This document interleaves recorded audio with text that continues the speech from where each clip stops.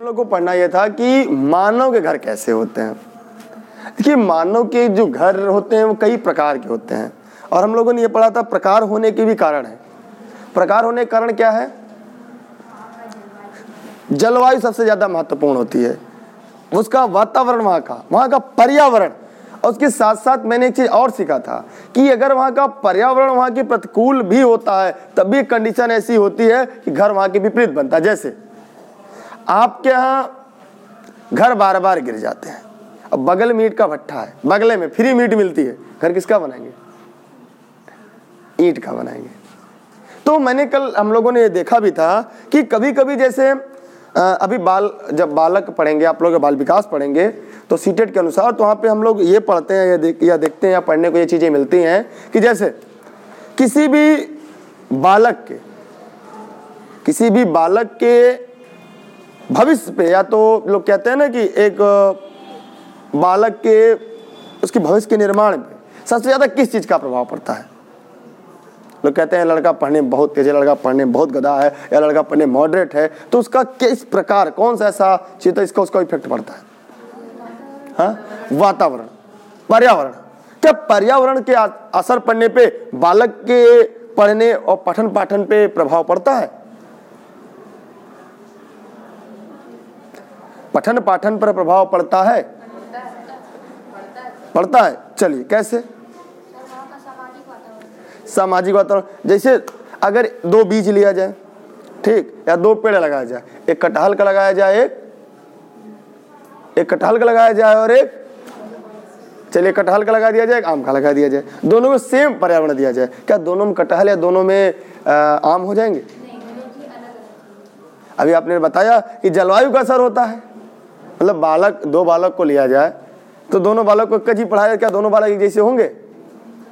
तब क्या होगा? तब क्या हो अब आप कहेंगे उनके डीएनए पे। अब क्या कहेंगे? कि उनके माता पिता से भी कुछ कुछ गुण मिलते हैं। ये आम के पेड़ में कटहल कैसे होगा? और कटहल के पेड़ में उनको पर्यावरण चाहे जो दे दीजिए। खूब खाद पानी दीजिए। परिवार का भी असर अब कहेंगे उनके पालन पोषण का भी असर पड़ता है जैसे आप पालेंगे वैसा होगा। अब दोनों पेड़ लगा दीजिए खूब खाद गोबर एक का जैसा दीजिए तब क्या कटहल पेड़ में आम आ जाएगा? अब किसका असर पड़ता है? अब अनुवंशिकता की आ जाएगी अब अनुवंशिकता में बात करते हैं दो बीज लीजिए आम का। ठीक आम का ही बीज लीजिएगा। एक को आ, आपके घर के पास लगाइए और एक को ले जाके पहाड़ पे लगाइए। ठीक? दोनों का अनुवांशिकता एक है। क्या दोनों जगह आम होंगे? मतलब कि इस पेड़ को विकास करने के लिए सभी फैक्टर ज़रूरत है, न कि केवल पर्यावरण। अब यहाँ पर्यावरण खत्म, अब यहाँ पर्यावरण की बात करेंगे, और जब पर्यावरण की बात करेंगे तो जीन की बात करेंगे। कहने मतलब सब एक दूसरे के पैरलर हैं। कहने का मतलब वहाँ के वातावरण वहाँ के अनुकूल वहाँ मनोदशा के अनुसार अपने आप को परिवर्तन करना ढाल लेना ही। अब ये पढ़ेंगे आप लोग डार्विन और को पढ़े होंगे पढ़ेंगे भी है क्योंकि आपके अध्याय में है। आप कहेंगे डार्विन और लयमार कहाँ से आ गए? हम तो पढ़ते हैं पर्यावरण एक अच्छा है। आगे हम लोग पढ़ेंगे कि उनका विकास पे जैसे देखो उन्होंने बताया था ना क्या पकड़ा था? जिराफ तो क्या जिराफ गर्दन पहले गधा की तरह थी। गधा गधा देखे ना आप लोग? काला वाला गधा थे कौन वाला गधा थे हाँ? सब कलर का? किस कलर के होते हैं? तो किस कलर गधा देखे आप। गधा एक ही कलर का होता ही है।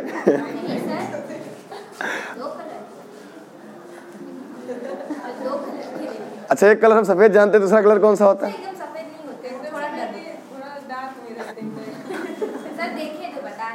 अच्छा ठीक है।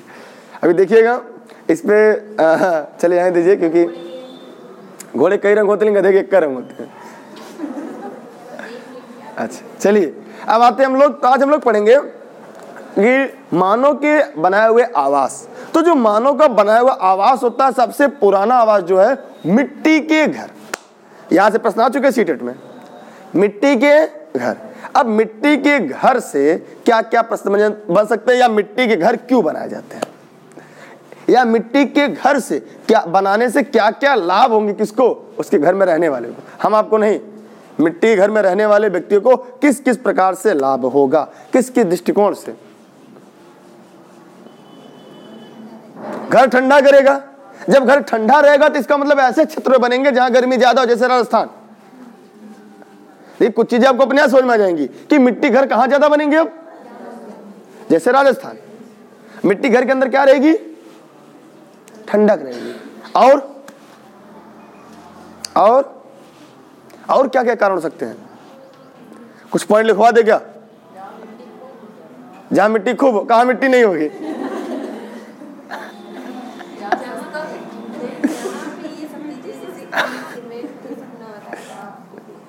और सबसे ज़्यादा सीमेंट किस राज्य में होता है?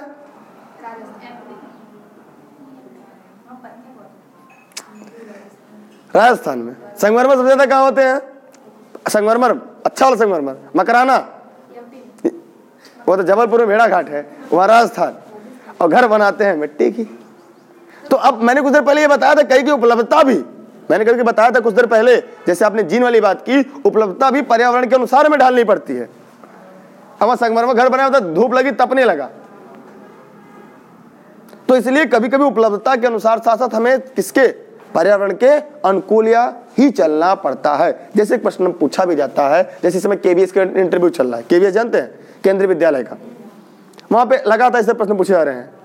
आपको मार्कर एक व्हाइट बोर्ड लगा होता है कहीं पढ़ाना भी पड़ जाता है।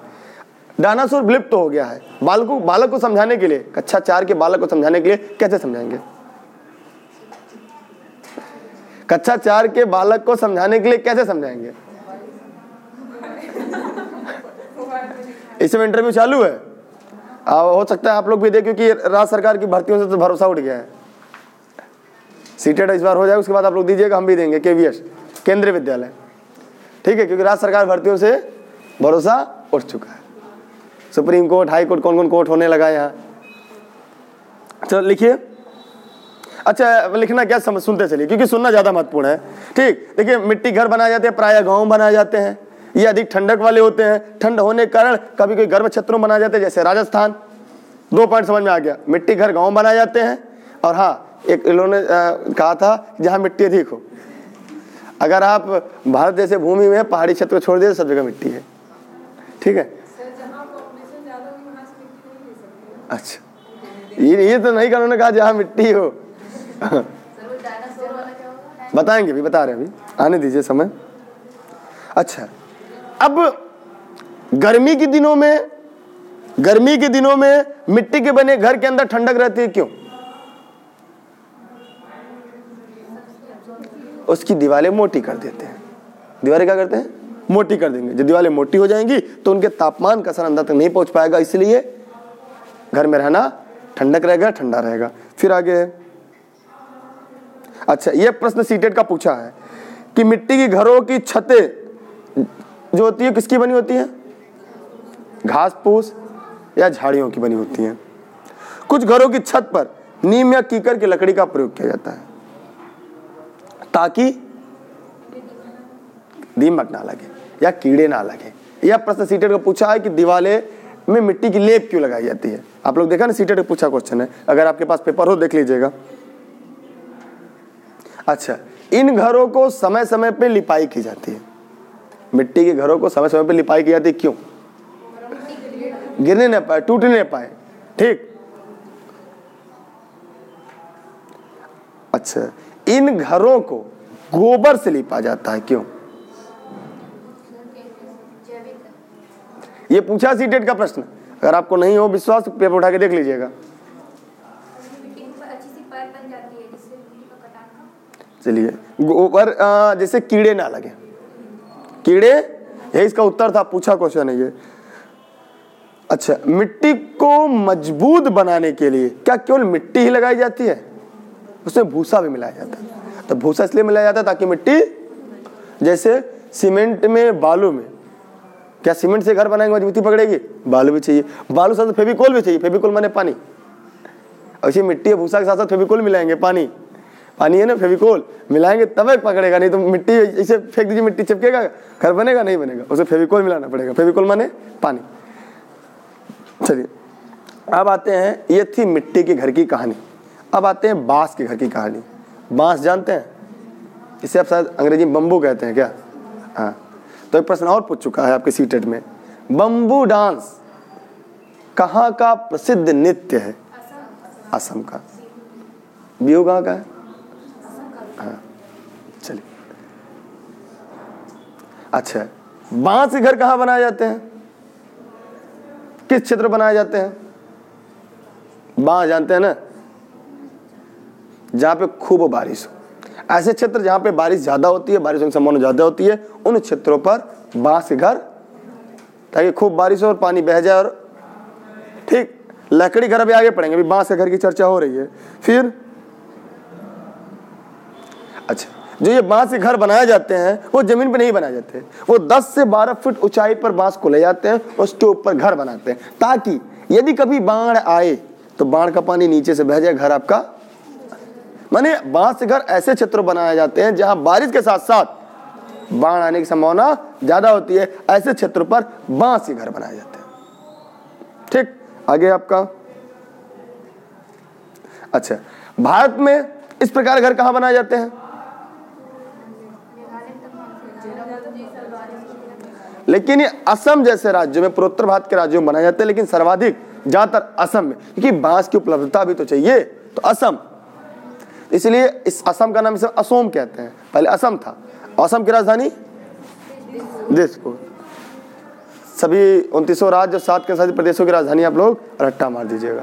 ठीक? तो असोम में ये ज़्यादातर बनते हैं। तो हम लोगों ने दो चीज़ें पढ़ा। एक पढ़ा मिट्टी का घर, एक पढ़ा दोनों सीटेड, दोनों से सीटेड प्रश्न पूछे जा चुके हैं। मिट्टी घर कहा? राजस्थान। बंबू माने बाँस घर? असम जैसे क्षेत्रों में। ठीक, बारिश ज़्यादा होगी, बाढ़ आएगा, पानी बह जाएगा, आपका घर सुरक्षित रहेगा। आगे हम लोग लिखेंगे अब। पत्थर या लकड़ी के घर? ये पत्थर और लकड़ी के घर कैसे बनेंगे? पत्थर जानते बड़े बड़े बोल्डर बड़े बड़े पत्थर। उसके घर कैसे बनेंगे?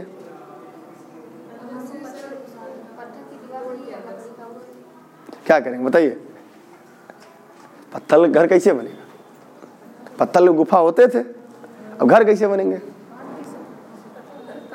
हाँ अब उसे कटिंग करके घर। अब ऐसी क्या ऐसी ज़रूरत पड़ जाएगी? आप बताइए, अगर आप एक अध्यापक है या एक स्टूडेंट है पत्थर के घर बनाने के लिए किन किन चीज़ों की ज़रूरत पड़ सकती है?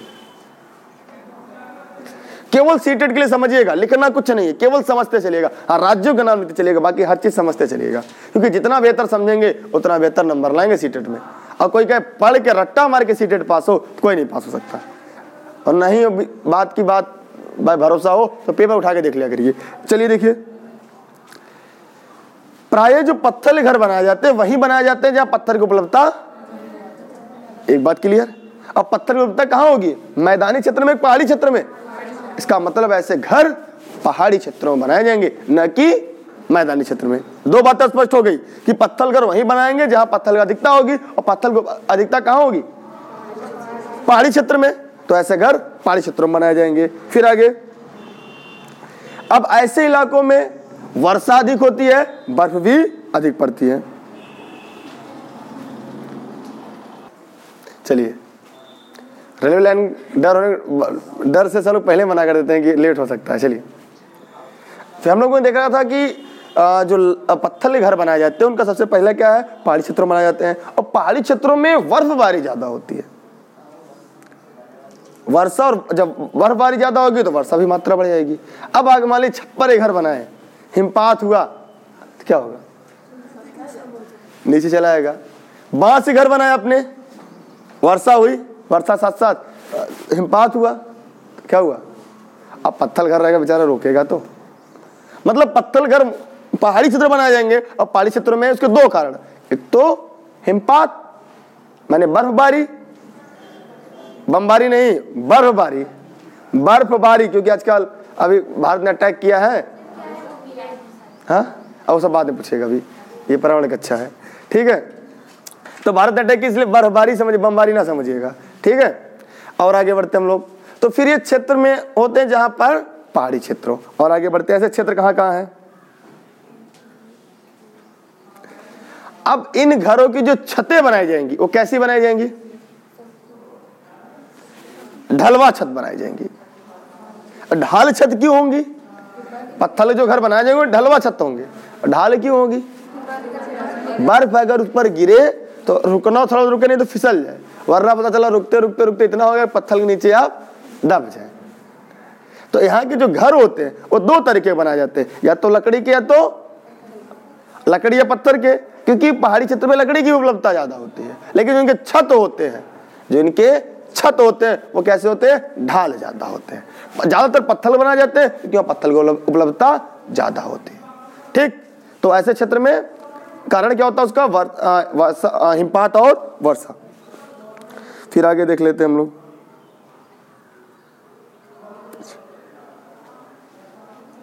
अच्छा ये भी ज़्यादातर ये दो तल्ले का मकान बनाते हैं। कितने तल्ले का? दो या दो से अधिक तल्ले का। क्यों? कारण क्या है? अब पर्वतीय क्षेत्रों में क्या मिलता है ज़्यादा? गोजर, कीरा। अरे सर, जंगली जानवर। तो जंगली जानवर खतरा होने के नाते ये लद्दाख जैसे क्षेत्र। लद्दाख कहाँ है? जम्मू कश्मीर में। जम्मू एंड कश्मीर में लद्दाख है। तो लद्दाख में जो इस तरह घर बनाए जाते हैं पत्थर को प्राय दो मंजिले बनाए जाते हैं। पहले मंजिले क्या करते हैं लोग? जैसे आप लोग क्या घर बनता है किचन अलग, बेडरूम अलग, गेस्ट रूम अलग होता है ना? वैसे वो लोग भी बनाते हैं। नीचे का नीचे का जो रूम होता है वो किसके लिए बनाते हैं? जानवरों के लिए। जैसे बकरी, बकरा, गदहा, गदही, यही सब पालने के लिए। ठीक उनमें कहा बांधते हैं? नीचे। और स्वयं कहाँ रहते हैं? जैसे कि जंगली जानवरों अगर हमला हो तो गधा, बकरा, बकरी से उठा के ले जाओ उन लोग को। ये कहाँ पे? लद्दाख क्षेत्र में। अच्छा वहाँ पे बकरी बड़ी प्रसिद्ध है। कौन सी? पश्मीना। पसीना नहीं? पश्मीना उसके पैर से कुछ बनाया जाता है।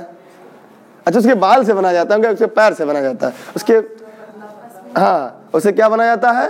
कपड़े पैंट के सॉल बनाए जाते हैं ना? हाँ ऊनी कपड़े। सॉल भी ऊनी कपड़े ऊनी कपड़े बनाए जाते हैं। पश्मीना, ठीक, वहाँ पे बकरी है, वहाँ पाई जाती है, ऐसे क्षेत्रों में। ठीक, फिर आगे देखते हैं हम लोग, और आगे बढ़ा जाए।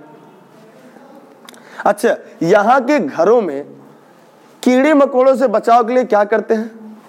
अभी वहाँ तो था, मिट्टी घर में गोबर से लिपाई करते थे। यहाँ पे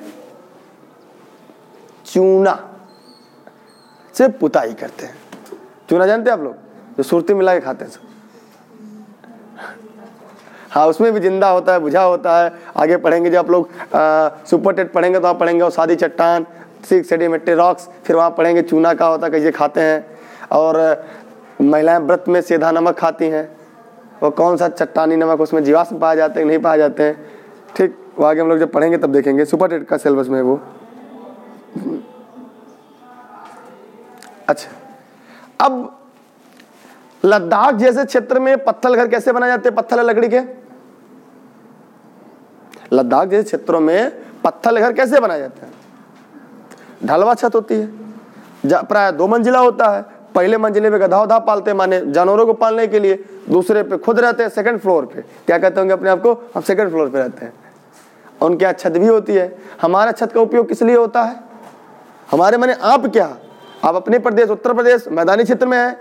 आप क्या छत कैसे होती? सपाट होती है। इसका उपयोग किस लिए करते हैं आप? याद करिए, किस लिए करते हैं? ज़्यादातर कपड़ा सुखाने में। टहलने के लिए, खाना पचाने के लिए। हाँ? अच्छा पापड़ बनाने के लिए हाँ। कुछ सुखाने के लिए। तो सेम चीज़ें वहाँ भी होती हैं। फ़सलों को सुखाने के लिए लद्दाख के लोग अपने छतों का उपयोग करते हैं। उनकी छत ढलवा होती है जैसे कोई फ़सल उस पर रख देते हैं ताकि फ़सल सूखे जल्दी जाए। तो माने वो प्राय अपने छतों का उपयोग इसलिए करते हैं? फ़सलों को सुखाने में। और अपने नीचे वाले फ्लोर का इस्तेमाल? हाँ। और किसके बनाते हैं वो? पत्थरों के। ठीक, और कभी कभी लकड़ियों का भी प्रयोग कर लेते हैं उनमें। लकड़ी का प्रयोग करेंगे ही। दरवाज़ा किसका बनाएँगे? पत्थर का। चलिए, अब आगे बढ़ते हैं। और भारत में इस प्रकार के घर प्राय किन किन राज्यों में पाए जाते हैं? हाँ लद्दाख माने जम्मू कश्मीर अब नीचे उसके पैर के पास है जम्मू एंड कश्मीर, न, के नीचे हिमाचल प्रदेश। तो हिमाचल प्रदेश और जम्मू कश्मीर, इन क्षेत्रों में प्राय पत्थल के घर मिलते हैं, पत्थल अथवा लकड़ी के। पत्थल या लकड़ी के घर मिलते हैं, इनका प्रयोग क्या है, इनका उपयोग क्या है, घर क्यों बनाए जाते हैं, वो आपको मैंने बता दिया। सच समझ में भी आ गया होगा। लिखने ज़्यादा सुनने में समझ में आएगा। और परीक्षा में ऐसे ही पूछेगा कि पत्थर के घर में रहने वाले, वहाँ के निवासियों के लिए, कीड़े मकोड़ों से बचाव के लिए वो किस चीज़ का प्रयोग करते हैं या क्या उपयोग करते हैं? तो क्या उपयोग करते हैं? मच्छरदानी? चूने का प्रयोग। चूना क्या करते हैं? खा जाते खा के सो जाते अच्छा अच्छा नहीं लगता। है। चूने की पुताई कर देते हैं। ठीक, जैसे कि किसके घरों में? मिट्टी घरों में। मिट्टी घर वाला प्रश्न पूछ चुका सीटेट में। हाँ अब आगे देखेंगे। ईट के मकान। ईट जानते हैं ना? जो पतला पतला होता है। इतना बड़ा बड़ा छोटा छोटा होता है। अच्छा चलिए। छह सेमी का। छह सेमी, आठ सेमी, हर जगह का अलग अलग नाप है। आप क्या अलग होगा? किसी क्या और मोटी होगी, किसी क्या पतली होगी, किसी का खाए पिए परिवार का होगा, किसी क्या हमारे जैसा होगा। ठीक। तो अलग अलग जगह अलग अलग होंगे ईट की साइज़ तो अब ईट के मकान। अच्छा एक बात और, जहाँ ईट के मकान बनाए जाते हैं, उनकी ऊंचाई कम होती ज़्यादा? ऊँचे इमारत बनते हैं। कहने मतलब जो, अब पत्थल के इमारत ऊँचे नहीं होते, ये भी बात जानते रहिएगा। पत्थल की इमारत ऊँचे नहीं होते, लेकिन ईट की इमारतें क्या होती हैं? ऊँची होती हैं। ईट और कंक्रीट। कंक्रीट में भी लोग कहते हैं छत वाली कंक्रीट। जिसे हम ढलैया कहते हैं आप लोग ना? कुछ देर पहले बता रहे थे चलिए, आगे लिखिए, इसमें देखिएगा। इस प्रकार के मकान कैसे क्षेत्रों में पाए जाएँगे? मैदानी समतल क्षेत्रों में, मैदानी क्षेत्रों में पाए जाएँगे। ये बात एकदम स्पष्ट है। और यह एक मंजिला से लेकर बहुमंजिला भी हो सकते हैं। बहुमंजिला आपने देखा ही होगा आजकल, फ्लैट। अभी आप लोग अध्यापिका होइएगा कि चलिए कि इलाहाबाद में एक बनारस में एक लखनऊ में फ्लैट लेते हैं। तो कहाँ लेंगे? तो ऊपर से लेंगे।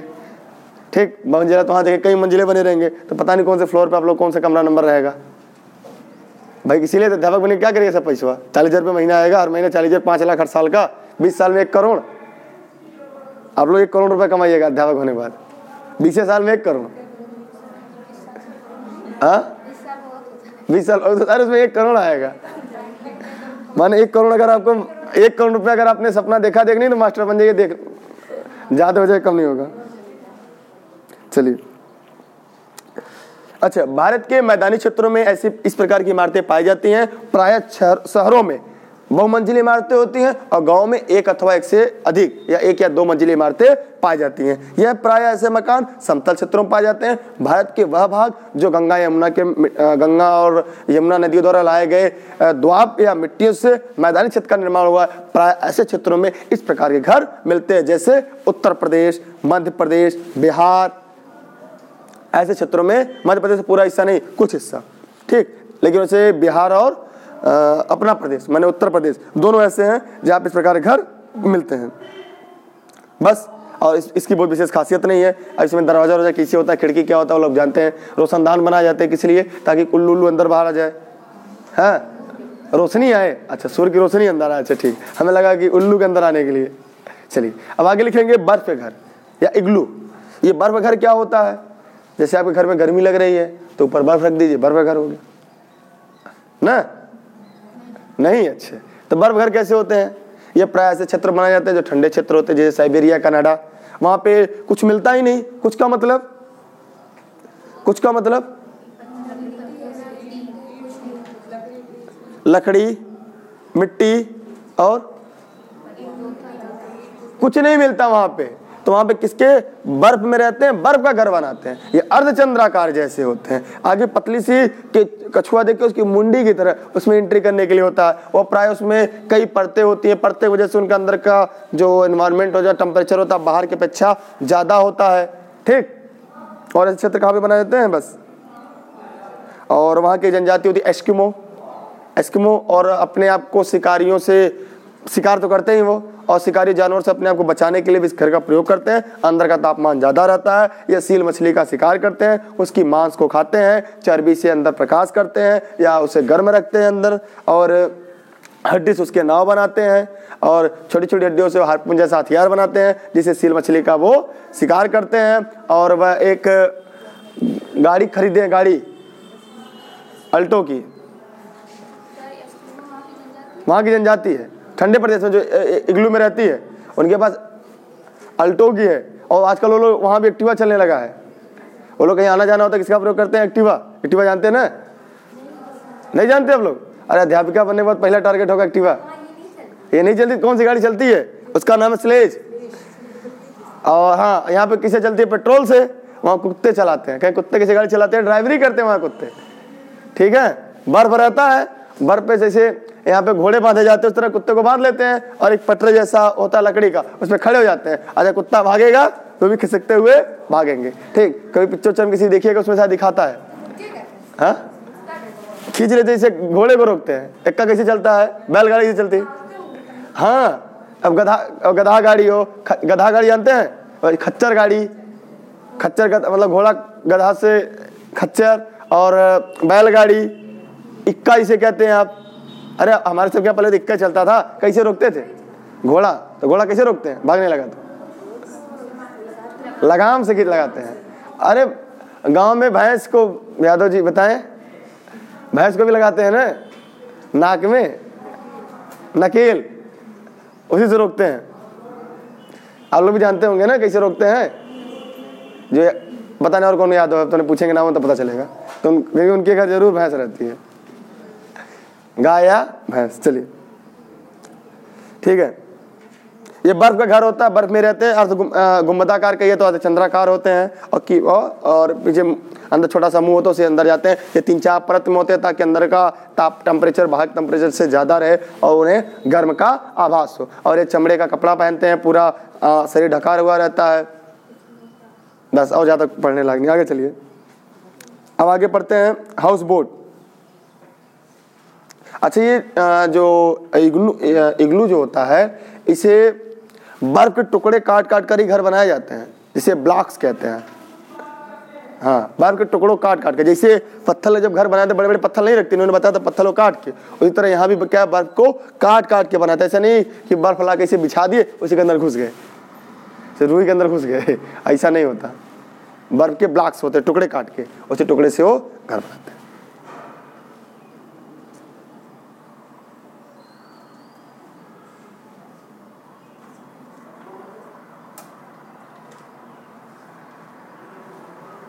अब अगला पढ़ेंगे हाउस बोट ये हाउस बोट क्या होता है बताइए? नाव पे भी घर बनाते बताइए मानो जो कुछ छोड़ा नहीं है। ये नाव पे घर क्यों बनाते हैं? मैंने ऐसे नाविक जो काफ़ी कई दिनों तक आ, क्या करते हैं? घूमने निकलते हैं या घूमने नाव नौकाले नहीं निकलते हो? मछली पालन शिकार करने के लिए। जो मछली मारने के लिए निकलते हैं तो क्या होता है? घर में रहते हैं। वह क्या करते हैं? नाव पर ही घर बनाते हैं। जो नाव पे घर बनाते हैं पत्थर भी बनाते हैं। लकड़ी का बनाते हैं। जो हाउस बोट होता है, वो लकड़ी के नाव पे लकड़ी का घर बनता है और ये लगभग 80 फुट लंबे लंबे होते हैं। 80 80 फुट लंबे बनाए जाते हैं और ये ज़्यादातर जम्मू कश्मीर और केरल के नाव पर बनाए जाते हैं। और उससे बड़ी बात, इसमें जो हाउस बोट होता है, इस पर लकड़ी पे अच्छी अच्छी नक्काशी की जाती है, जो उसकी खूबसूरती को चार चाँद लगाती है। किसके? हाउस बोट पे। ठीक हाउस बोट पे क्या करता है? नक्काशी होती है और पर्यटक उस नक्काशी को देखने और उस हाउस बोट में घूमने का मज़ा ले, लेने प्राय ऐसे क्षेत्रों में जाते हैं, जैसे आपका जम्मू कश्मीर का प्रसिद्ध कौन सा झील है? बुलर झील। और आपको केरल में नौका दौड़ होता है, वहाँ का प्रसिद्ध त्यौहार है, एक नाम उसका ओणम। आप लोग टेलीग्राम जुड़ेंगे नहीं?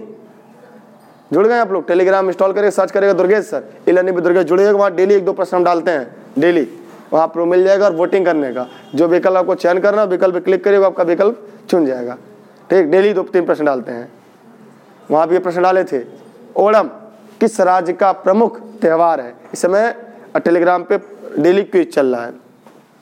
तो ओणम है, वहाँ का त्यौहार है। तो ये हाउस बोट समझ में आया हाउस बोट कहाँ है? किस लिए बनाए जाते हैं? क्योंकि काफ़ी दिनों तक नदी में मछली मारने के लिए या तो पर्यटक को बढ़ावा देने के लिए, जैसे अगर आप लोग घूमने जाएँगे, दो नाव खड़ी हो, एक हाउस बोट और एक तो सिंपल नाव। तो किस पे बैठे घूमना पसंद करेंगे आप? किस पे हाउस बोट क्यों? जैसे हमारे एक तो महानुभाव हैं वो कहते हैं, जैसे किसी के यहाँ शादी समारोह में अगर उनको जाना होता है तो कहते हैं, यार, वो सब सामान ना खाओ जो हमारे घर पर रोज बनता है। वो खोजो जो घर पे नहीं बनता, कहे, पूरी तो प्राय बनता है। तो क्या पूरी खाओगे? ऐसा सामान देखो जो घर पे ना बनता हो। तो उनकी थीरी आज यहाँ लागू हो जाती है। और अगर हम वो वीडियो देखेंगे कभी तो शायद उनको ये बात याद हो जाएगी कौन बंदा था। वो बंदा यही डाला क्या था?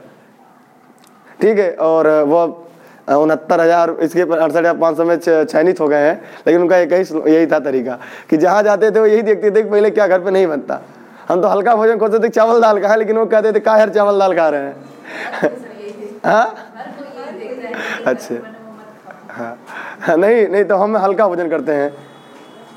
पहले खोजिए चावल दाल कहाँ है लास्ट में। और ये चावल दाल खाते हैं लेकिन वहाँ पर जाने पर ये देखते हैं हल्का भोजन, क्योंकि पता है कि वहाँ सबसे ज़्यादा मिलावट होती है। और आयली होता है और पता चला कि हमको सुबह क्लास तबीयत खराब ना हाँ?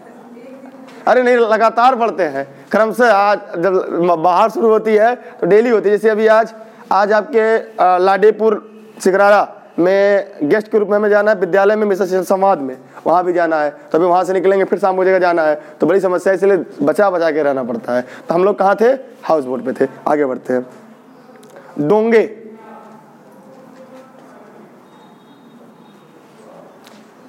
एक होता है हाउस बोट एक होता है डोंगे। जिसे आप लोग गाँव में डोंगी कहते हैं। डोंगी मतलब छोटी नाव होती है। डोंगे माने हाउस बोट को में हाउस बोट में जब अलग अलग कमरे बना दिए जाते हैं और उसे वहाँ के निवासी या रहने वाले लोग उसे रहने के इस्तेमाल करते हैं, उसे हाउस बोट का नाम क्या हो जाता है? डोंगे हो जाता है। ठीक है? और यह डोंगे जम्मू कश्मीर में पाए जाते हैं।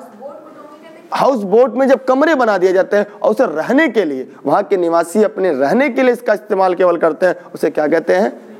डोंगे कहते हैं। अब ज़मीन महँगी हो जाएगी तो लोग पनिए में रहेंगे घर बना के तो जब बगल में नदी बह रही सही नदी तो उसमें भी एक लोग डोंगे बनवा के उसे बनाना शुरू कर देंगे। कम पैसे में काम हो गया जमीनों खरीदना नहीं पड़ेगा। खाली घर बनवाइए और रहिए। आलू अध्यापिका हो जाएगी ज़मीन महँगा हो जाएगा तो बगल गोमती नदी बहती है डोंगे बनवा के इसी में रहिएगा आराम से। सूख के तो नीचे डोंगे चला जाएगा तो जमीनिया तो रहेगी। चलिए। इसमें अलग अलग कमरे होते हैं, यहाँ में यहाँ पे इसमें स्थानीय लोग रहते हैं, इसे पर्यटन के रूप में इस्तेमाल नहीं करते। इस पर भी नक्काशी होती है। माने सेम चीज़ हाउस बोट का ही रहेगा, लेकिन इसमें कमरे बना देते हैं और स्थानीय लोग यहाँ पे रहने के लिए इसका इस्तेमाल करते हैं। हाँ? अरे खेती इसमें कैसे करेंगे? आप गुलाब का फूल लगा सकते हैं, थोड़ा वो धनिया वनिया बो सकते हैं। अच्छा वही खेती करेंगे। अच्छा धान थोड़ी बोएँगे? हाँ। ले जाएँगे मिट्टी, कह देंगे, ये लोग तो दिमागदार हैं। हाँ चलिए। अब लिखिएगा टेंट। टेंट क्या होता है? हम्म। हम्म तंबू इसे कहते हैं। टेंट प्राय अस्थाई निवास करने वाले निवासी इसका इस्तेमाल करते हैं। इसे हम कहते हैं प्राय खाना बदोश जीवन। माने खाना बदोश जीवन यापन करने वाले लोग प्राय टेंट का इस्तेमाल करते हैं। और टेंट का इस्तेमाल ज़रूरी नहीं, गरीब आदमी करे। और टेंट कई प्रकार के होते हैं, कई प्रकार की वस्तुओं से बने होते हैं। प्राय हम अब जो जानते हैं, वो प्राय प्लास्टिक के टेंट जानते हैं, लेकिन टेंट किसी भी प्रकार के कई वस्तुओं से भी बनाई जा सकती है। इसका प्रयोग प्राय वह व्यक्ति करते हैं, जिनका जीवन खाना बदोश हो, जिनका जीवन अस्थायी नहीं होता। इन कभी कभी अस्थायी जीवन में निवास करने वाले लोग यदि पर्यटक क्षेत्र में जाते हैं कई लंबा टूर पर जाते हैं तो वो भी अपने साथ टेंट ले जाते हैं, टेंट का इस्तेमाल करते हैं। तो यह कहना अनुचित होगा कि टेंट का इस्तेमाल केवल अस्थायी लोग करते हैं, अस्थायी लोग भी करते हैं। प्राय आजकल जब सैनिक शिविर लगते हैं, जब सैनिक कैंप लगते हैं तो प्राय उन टेंटों का ही प्रयोग किया जाता है, क्योंकि वहाँ पे घर बना के रहने के लिए अस्थायी जीवन यापन जहाँ न करने की संभावना, वहाँ पे हम टेंट का प्रयोग करते हैं। टेंट लगाया, दो तीन रातें गुजारी, फिर टेंट उठाया, उखाड़ा, फिर ले गए, फिर लगाया। ठीक, इस तरह अस्थायी रूप से जीवन यापन करने के लिए, निवास करने के लिए, जिस घर का प्रयोग करते हैं, उसे टेंट या तंबू कहते हैं। यह प्राय चमड़े या प्लास्टिक अथवा एक या दो या दो से अधिक चीज़ों से मिलकर बनी हो सकती है। ठीक है? और कहीं कहीं कपड़े, टेंट के कपड़े बने होते हैं, कहीं प्लास्टिक के कपड़े बने होते हैं, कहीं चमड़े के टेंट बने होते हैं।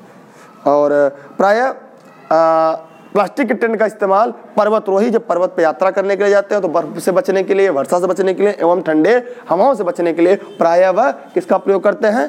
प्लास्टिक के टेंट का प्रयोग करते हैं।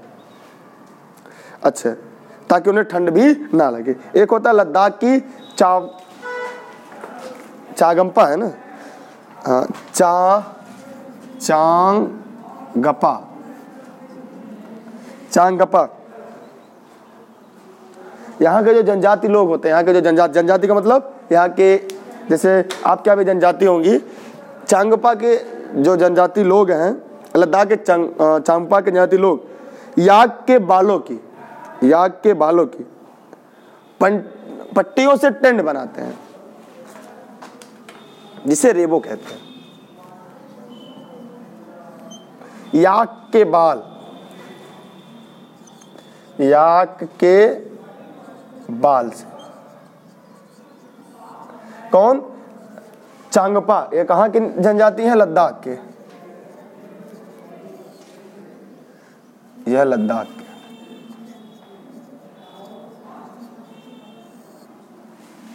यहाँ की जनजाति है। इसे हम क्या कहते हैं? ये याक के बाल से बनाते हैं, इसे चंगपा कहते हैं, इसे रेबो कहते हैं। वो जो, यहाँ का जो टेंट होता है, इसे टेंट का नाम रेबो होता है। और हिंदी में एक मुहावरा आता है, नाक का बाल होना। नाक का बाल होना। अधिक प्रिय होना। अधिक नाक का बाल। और याक का बाल से रेबो। ठीक, कौन सा जनजाति? चांगपा। ठीक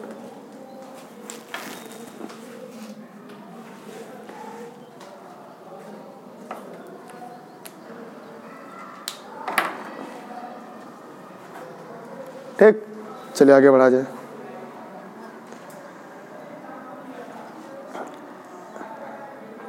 अब लिखेंगे, हवेली, महल या किले।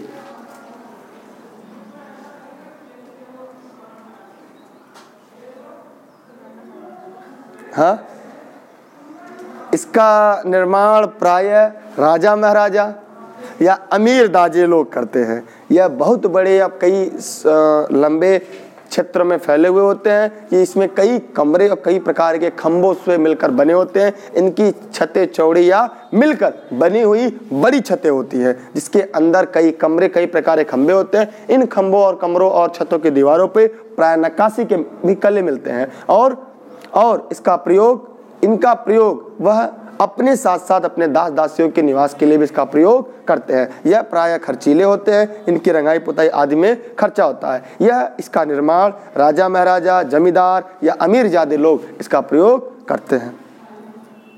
बस आज ये खत्म। ठीक और इसका प्रयोग इसका जो आ, इस मकान का जो उपयोग किया जाता है प्राय इसमें ईट ईट की ईट जानते हैं ईट पत्थर और लकड़ी का। प्राय बहुताय में इसका प्रयोग किया जाता है। नक्काशी के रूप में ज़्यादातर लकड़ियों का प्रयोग किया जाता है। बड़े बड़े दरवाजे और फाटक का भी इसमें उपयोग किया जाता है। और इसमें ये हमने महल पढ़ा और हवेली। इसके साथ साथ किले होती है। किले का निर्माण जो होता है वो पत्थर से बने होते हैं और इसका भी निर्माण प्राय राजा महाराजा करते थे, क्योंकि किले के अंदर वो अपने आप को सुरक्षित और सहज महसूस करने के लिए इसका वो प्रयोग करते थे और किले में उनका रहने का उद्देश्य, किला निर्माण का एक उद्देश्य होता है, अपने आप को सुरक्षित रखना। मतलब राजा महाराजा अपने आप को सुरक्षित रखने के लिए जिस हवेली का निर्माण करते थे, उसे कहते थे, किला कहते थे। ठीक है? और ये प्राय पत्थर के बने होते थे, इनके जो दरवाजे होते थे, काफ़ी बड़े होते थे। और ये कई क्षेत्रों, कई लंबे क्षेत्रों में फैले होते थे अनेक विभिन्न प्रकार की नक्काशियों कला का मिलता है। माने हवेली, महल और किला, इसमें प्राय जो सबसे देखने योग्य चीज़ें होती है, इसके नक्काशी। क्योंकि अगर हम लोग जाते हैं तो क्या देखते हैं? उन पत्थरों पे नक्काशी, उन दीवारों पे नक्काशी, उन छतों पे निवास, नक्काशी, उन जो खंबे होते हैं खंबे पे नक्काशी और यहाँ पे तीन प्रकार के। पहले तो ईट थी नहीं, इसलिए ज़्यादातर जो पहले के मिलते हैं, वो किसके मिलते हैं? पत्थर और लकड़ी के। लेकिन वर्तमान समय में इसमें ईट का भी प्रयोग किया जाने लगा। अब पहले भी जो ईंट का प्रयोग किया जाता था, वो पत्थर के ईंट होते थे। ईंट का तात्पर्य, अब मिट्टी के ईंट आते थे। आते थे, अब एक नया प्रकार ईंट चला है। सीमेंट का भी ईंट आता है। अब हमारे यहाँ तो मिट्टी मिल जाती नहीं, बाकी सारे क्षेत्र में सीमेंट की ईंट आते हैं। ठीक, सीमेंट की ईंट आने लगे।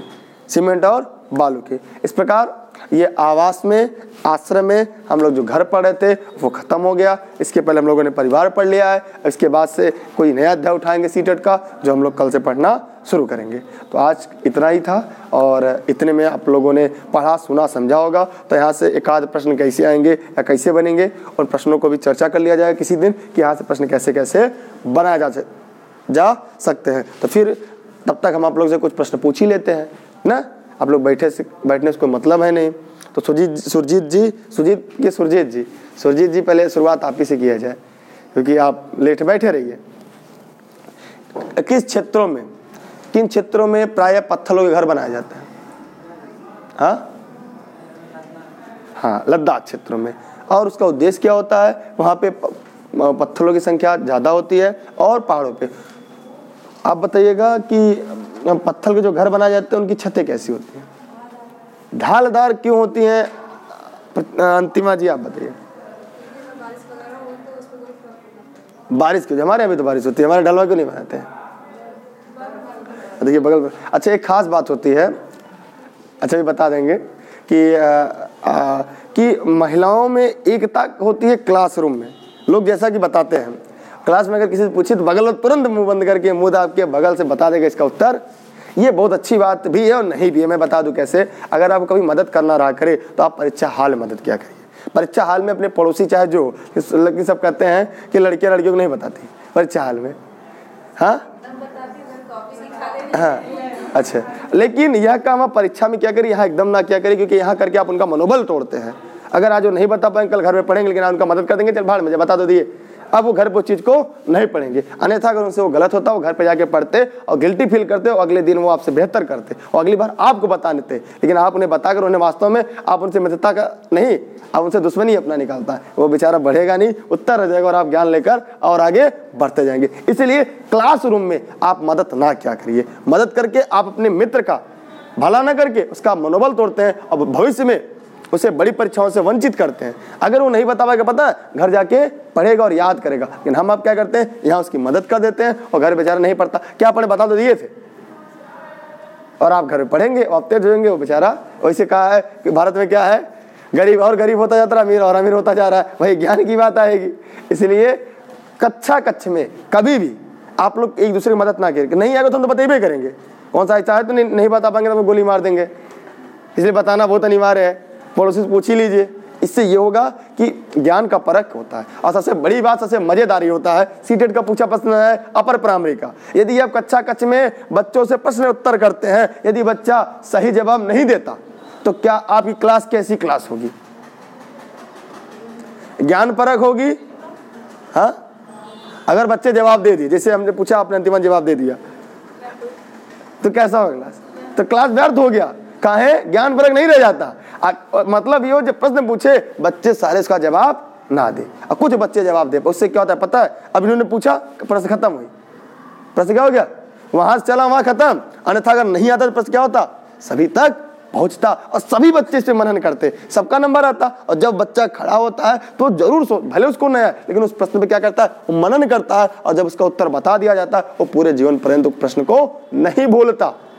लेकिन जैसे वो बता दी, उत्तर वही खत्म। ऐसे में सबसे पूछा जाता, सब लोग क्या करते, अपने दिमाग का सौव्य का इस्तेमाल करते और कुछ ना कुछ सोचते। ज़रूरी नहीं सही प्रश्न का ही उत्तर बताएँ। कभी ये नहीं है कि क्लास में आप प्रश्न पढ़ा रहे हैं तो सही उत्तर दे रहे इसका मतलब अभी क्लास बहुत अच्छी है। आपकी क्लास में बच्चे जवाब दे रहे हैं, वो ज़्यादा बेहतर होता है उनकी अपेक्षा क्योंकि आपके क्लास के बच्चे इसका मतलब क्या है आत्म मनन कर रहे हैं और ज्ञानों में वृद्धि कर रहे हैं। क्योंकि अमूर्त होता है, अमूर्त नहीं होता। ये इनके पास पचास ग्राम है, इनके पास सौ ग्राम ज्ञान है, उनके पास पाँच पन्ने का याद ऐसा था नहीं। ये तो अमूर्त है। ऐसा तो है नहीं ना कि उनके पास ज़्यादा, सुजीत के पास ज़्यादा है, इनके पास ज़्यादा, मेरे पास कम है, इनके पास हमसे भी दो गुना, उनके पास हमसे चार गुना। ऐसा तो है नहीं कि पाँच किलो इनके पास सवाल है छः किलो, इनके पास इनके दो किलो सवाल है। इनका सीटेट में ये सवाल इतना आता है, टेट का, ऐसा कोई पैमाना नहीं है। इसलिए आप सभी लोग खुल के बताया करिए, गलत या सही जवाब दिया करिए और प्रयास किया करिए जिस कक्षा में पढ़ाएँगे बच्चों को जिज्ञासु बनाने के लिए। प्रश्न का जवाब चाहे जैसे भी दे, उन्हें क्या करेंगे आप?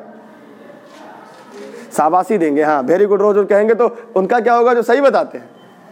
अभी ये भी कमियाँ होती है, अभी हम लोग पढ़ेंगे, सबको वेरी गुड कहते बेचारे सही बताया, उसका क्या होगा? चलिए, अभी आगे देखेंगे, जैसे आप लोग जानते हैं ना, एक कच्छा नायक आप बताइए कच्छा नायक क्या होता है? हाँ जो मॉनिटर होते हैं क्या कहते हैं? कच्छा नायक कहते हैं। कच्छा नायक का क्या काम होता है, क्या कर्तव्य होता है? तो अगर कोई बच्चा को आपके क्लास में, होता है ना? क्लास में तीन मॉनिटर को चुनना तो कोई प्रश्न पूछिए, जो जवाब दे, उन्हें बता दिए क्लास के मॉनिटर से बच्चों के अंदर क्या होती है? उत्सुकता बन, उत्सुकता बनती है। और वो अगले दिन आपके प्रश्न का जवाब देना, के इच्छुक होते हैं, जवाब देना चाहते हैं। इसलिए मॉनिटर चयन करना या हमारी कक्षा में जो बच्चे बताएँगे, उनको क्या होगा? एक रिबन देंगे, यहाँ पे लगा के पूरे क्लास में टहलेंगे तो बच्चे क्या करते हैं अपने आप को? लीडर समझते हैं। और क्या कहते कुछ बेहतर करने का प्रयास करते हैं। क्योंकि मैंने बताया था ना, कल बताया था आसाद आपको, टाप करना आसान है। टाप करना ज़्यादा आसान है। कहा है? देख लीजिए, सभी लोग देख लीजिएगा, क्योंकि आप लोग के काम का है, क्योंकि आप लोग भाई एक अध्यापक बनने जा रहे हैं। यह है, कोई बच्चा फ़र्स्ट पोजीशन पे आ गया टाप करके आप ही टाप कर गए कोई मान लीजिए दीक्षा ही टाप कर गई तो टाप करना आसान है, पता चला परसों टेस्ट है, दो दिन खूब रात देने पड़े। टाप कर गए। और एक बंदा एकदम नीचे है, एकदम नीचे। दस में लड्डू पाने वाला, और ये है दस में नौ पाने वाले। अरे दस में दस मत कहिए, दस में नौ पाने वाले। ठीक, लेकिन तब ये टॉप पे है। अब अगली बार टेस्ट होगा तो सबसे ज़्यादा डर किस बात का होगा पता है? इस स्थान को उनके जस्ट बगल में प्रतिमा है। और तुरंत डाक के इनको आ जाएँगे, इनका स्थान क्या हो जाएगा? लेकिन इस बेचारे कोई डर नहीं, इसके नीचे जा ही नहीं सकता। इस बेचारे को कोई डर है? इसके नीचे वो डर हमेशा किसको होता है? इनको क्या डर, कहाँ जाएँगे इससे नीचे? अब ज़ीरो से कम तो नंबर पाएँगे नहीं। अच्छा मारे तो आगे हो अलग बात है माने नहीं मतलब इससे नीचे नहीं जाएँगे। माने इनका स्थान फिक्स है, मैं सबसे नीचे हूँ। चाहे जो भी मार्किंग हो, जिनका मार्क सबसे कम है, जो सबसे नीचे रहते हैं, उनको डर नहीं मैं इससे नहीं इनको सदैव डर है, दिन प्रतिदिन। इसलिए टॉप करना आसान होता है, लेकिन उस स्थिति को बरकरार रखना या अपने स्थान को बरकरार रखना, ये उससे ज़्यादा महत्वपूर्ण होता है। ठीक तो आप सब अध्यापक और अध्यापिका बनिए और प्रयास करिए, आप भी जिस पोजीशन को प्राप्त कर, सदैव उससे ऊपर जाइए, नीचे मत जाइएगा। इसलिए टॉप करने से ज़्यादा महत्वपूर्ण क्या होता है? उस स्थान को बरकरार रखना। ये बेचारा कहाँ जाए कहीं नहीं जाएगा। वो तो उसका स्थान फिक्स है। ऊपर जा सकता लेकिन नीचे नहीं जा सकता, लेकिन आप नीचे जा सकते हैं। इसलिए टॉप ज़रूर करेगा लेकिन टॉप की स्थिति को बरकरार रखिएगा और मेहनत करेगा सी टेट में पढ़िएगा कम। एक अध्यापक के व्यक्तित्व को, एक अध्यापक होने के नज़रिए को ज़्यादा देखिएगा, आप सौ से ज़्यादा स्कोर करेंगे। और अगर आपने गलती से अन्य कोचिंगों की भांति पढ़ना शुरू कर दिया, और तब तो क्या कहते हैं सोलह डंड एकादशी हो जाएगा। ठीक। बीच बीच में लोग कितनी मुहावरे का प्रयोग करते रहेगा हंसाते रहेगा पढ़ाते रहेगा पढ़ते रहेगा कक्षा खत्म हो जाएगी और पता चला डेढ़ महीने में सीटेट खत्म हो जाएगा सिलेबस और सौ प्लस करेंगे। और सबसे बड़ी उपलब्धि आप लोग को पता है, हमारे यहाँ सबसे बड़ा एक रिकॉर्ड रहा है। सीटेट कोई फेल नहीं हुआ है। सीटेट कोई लड़का फेल नहीं जिसे हम कह सकते हैं हंड्रेड परसेंट रिज़ल्ट कोई सीटेट नहीं फेल हुआ। यूपीटेट दो चार लोग कम हो गए, लेकिन सीटेट कोई कम नहीं हुआ। ये बहुत बड़ी उपलब्धि है। सब सीटेट पास है, सब। सब माने सब, समझिए सब, एक भी ऐसा बालक या बालिका नहीं थी। बालक कौन सा अध्यापक है? अध्यापक होंगे। एक भी अध्यापक या अध्यापिका कोई नहीं था जो सीटेट क्वालिफाई ना हो। तो सीटेट पास करना बहुत आसान है। वो तो मजबूरी है कि आपको पढ़ाना पड़ रहा है। वैसे तो सीटेट क्या है? खाली बतियाना है बैठ के। जितना बैठ के बतियाएँगे, उतना ज़्यादा सीटेट में नंबर आएगा। लेकिन अगले दिन क्या कहेंगे? भाई, कोचिंग मत जा। फ़ीस देने से क्या मतलब? वो तो पढ़ाई नहीं करते कुछ। लेकिन हकीकत ये है कि सीटेट ने पढ़ाया जो, वो आपके भविष्य से खिलवाड़ किया। पढ़ाने का तरीका अलग है।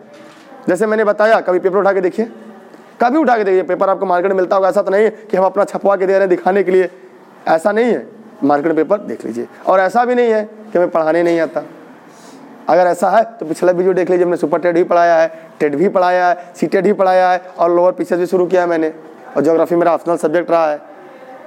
तो ऐसी बात नहीं है कि आपको इसे, क्योंकि मेरे, मेरा क्या आपको सफलता दिलाना और सफल दिलाना करना, मेरी ज़िम्मेदारी कैसे आपको सफल बनाना है? बस आपको लगातार उसी पद पे चलते रहना, हँसते रहना, पढ़ते रहना है और टाप करना है।